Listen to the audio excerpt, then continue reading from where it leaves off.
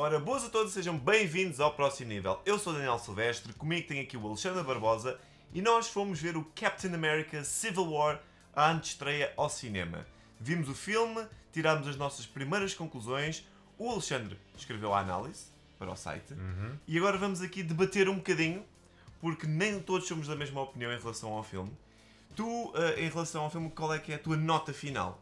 Bom, E a minha nota final seria mais ou menos algo como um muito bom. Por isso, podes expli- começar por explicar e, e- e mais ou menos. ah, não, vamos fazer ao contrário. Como eu escrevi a análise, E sim, as pessoas podem vais ler. tu começar e eu contra-ataque. Então pronto, ok. Ah, então vamos contra-atacar com. ah, eu achei que o filme está bastante, ou muito bom, porque é significativamente melhor do que o Age of Ultron, para começar, que era um bom filme. As personagens estão muito boas, embora nem todas sejam introduzidas de uma forma digna, mas por exemplo o Black Panther é uma personagem fantástica. Ah, o Ant-Man foi muito bem encaixado. Ah, devíamos ter dito aqui no início, pode conter spoilers. Nós não vamos fazer spoilers, mas podemos falar de algumas personagens. E gosto muito da forma como eles misturaram a ação com trama política. Ah, as partes que eu não gosto têm mais que ver com o- a falta de brilho ou de dedicação ao material original. Eu sei que isto é o Marvel Cinematic Universe, mas não é bem uma Civil War. Um, e dão muita importância à, à parte do Bucky e a história por trás do Bucky. Aquilo chega quase a ser um bromance o filme. Ok, agora o que é que tu queres Captain contrapor? America, Bromance. Yeah, the bromance. Olha, eu aí digo-te já, eu concordava com esse título mais do que o Civil War. Porque isto Civil War não tem quase nada. E eu vou passar a explicar uma coisa que é. Os filmes da Marvel são conhecidos por uns, uns quantos pontos. Ok, Para mim é história, combates e piadas. sim. São três coisas que eu gosto bastante nos filmes.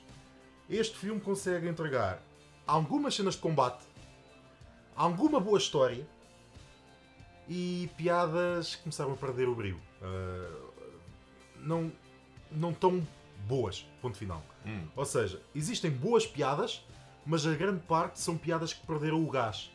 São piadas que são secas. Pronto. Já tinhas visto nos outros filmes? Não é uma questão de já ter visto, é, são secas, não caem bem, são forçadas, são, são piadas que são ditas. E eu, por exemplo, eu lembro perfeitamente, eu estava no cinema, eu não estava com nenhuma vontade de rir quando elas, eh, quando a maior parte das piadas apareciam.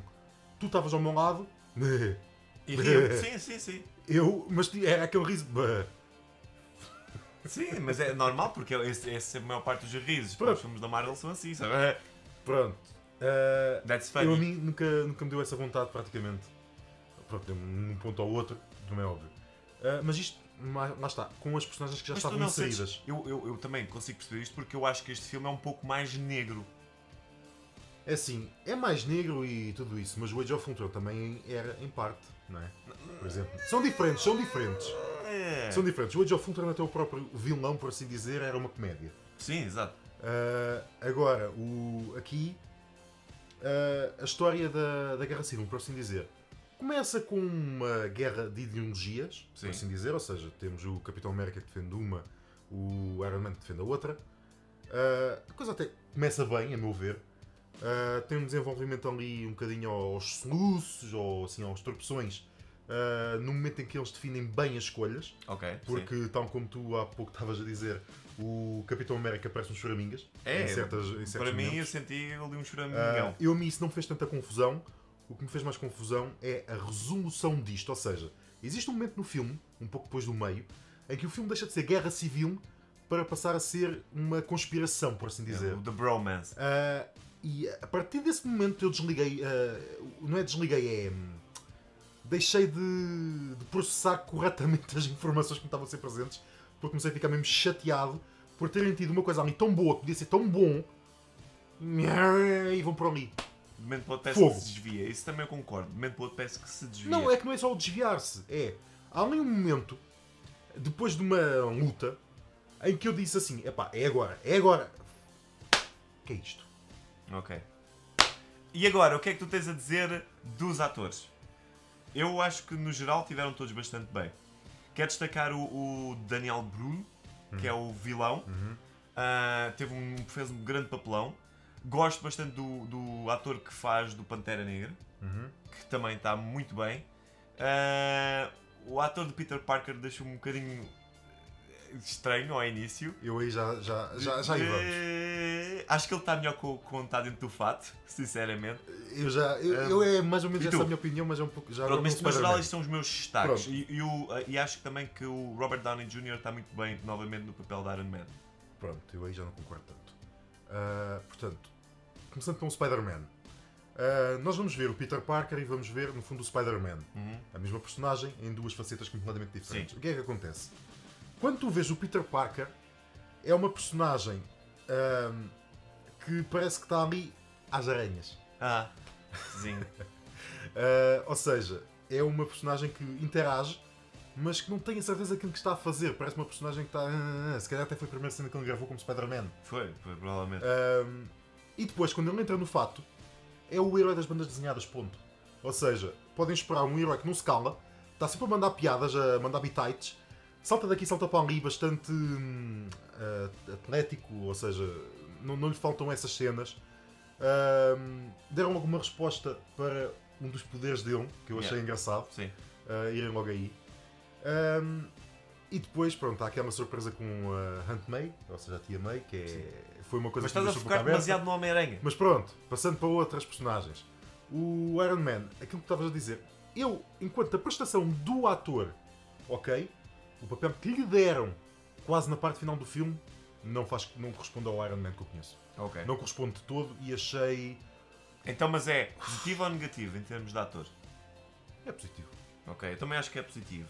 Em termos de. de pronto, vamos ter de chamar CGI e apresentação visual, Eu gostei. eu acho que também está muito bem feito. Então as, as batalhas são É assim, fantásticas. as batalhas dão sempre aquele impacto, principalmente a nível sonoro. Eu acho que ali a sonoridade é o ponto mais principal daquelas batalhas.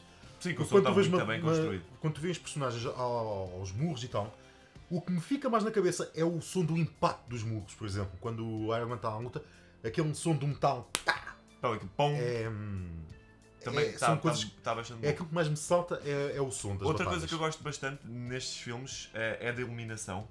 Há- Onde tu vês muito bem o papel da iluminação, por exemplo, é quando eles tentam destacar, por exemplo, os olhos da Scarlett Johansson. Parece que cada vez que ela está em cena há uma espécie aqui de uma luz nesta zona. Parece que aqui é mais luminoso aqui para se destacar mais os olhos dela. É porque. uh, Que é para dar mais impacto, a Scarlet- a- a- A Viúva Negra, Scarlett Johansson é a viúva negra. Sim, eu estava a Estás pensar. a- na ah, estás a- Feiticeira Estavas a pensar na feiticeira escarlate. Também fazem o mesmo. Curiosamente, porque ela também tem Pois, uns por isso é que eu estava a olhos pensar assim. mais nela. Mas é que está, nota-se nota-se o trabalho da equipa de iluminação. Mas também se nota que eles podiam ter escondido. Não, não dar tanto nas vistas. É assim. Mas uh, de resto, pá, tudo em si, nos, nos fatos e no, no É assim, trabalho dos a- cenários. A Viúva Negra aqui eu acho que tem um papel que, ao mesmo tempo que é principal, é muito secundário Mas é que eu gostei, com mas gostei mais dela aqui. Porque aqui te- Ah. até a vês mais em ação e percebes, ah, ok, já percebo porque é que ela estava nos, no- nos Vingadores. É assim, eu hum, é daquelas coisas que é. hum, não acho que ela esteja mal, no fundo. Ah, mas continuo a achar que ela é uma personagem que pertence a um núcleo muito secundário. Sim. Ou seja, sempre que ela aparece, ela tem um papel daqueles de entregar o diploma ou entregar o bastão, sei lá. Sim. Uh, mas ela nunca chega a ter o, o devido protagonismo, por assim dizer. Ela aqui tem uma cena que quase atinge isso, uh, mas depois passam-lhe à volta de propósito, ou seja, ignoram-na como se ela não estivesse ali. E isso foi uma coisa que eu fiquei. "Hum, hum." Mas pronto, já agora, o Black Panther. uh, eu, quando o vi pela primeira vez, eu percebi logo de quem é que se tratava. Um, e gostei bastante da evolução da personagem.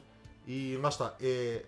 À conta deste filme, eu antes até nem estava interessado no filme do Black Panther, a Song, que É estreia para o ano que vem, acho eu. Neste momento estou.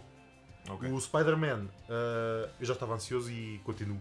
No Para filme. fechar, recomendas irem ver o filme? À falta de melhor. À falta de melhor? Eu recomendo. Se gostam de Marvel, se gostam de Marvel e estão naquela do ah, o universo cinemático da Marvel não é igual aos livros, não vou sair lá desapontado porque estava à espera de uma coisa igualzinha, então também vão gostar. Eu gostei bastante do filme. É assim, eu lá está. Eu gostei do filme, mas acho que o filme perde potencial por causa da história e dos desenvolvimentos que eles têm e da conclusão do filme. Isso para mim estragou o filme. Ou seja, se tivessem dado uma outra conclusão à história, ou melhor, uma outra parte final à história, Uhum. não tivessem ido tanto atrás daquela espécie de conspiração, ou chamem-lhe o que quiserem, e tivessem seguido mais uma luta de ideologia até ao fim, Sim. teria sido algo muito, muito melhor. Ok, então esta foi a nossa análise em vídeo. Vocês deixem a vossa opinião se já foram ver o filme ou se ainda o vão ver na zona de comentários em baixo, seja do YouTube, seja do site. Não se esqueçam de partilhar, fazer um like e subscrever também o nosso canal aqui do YouTube, também se ainda não fizeram. Visitem-nos em proximidel.pt, onde temos mais informações sobre videojogos, cinema, anime, trading card game e esta análise escrita. Por isso, vemos no próximo nível.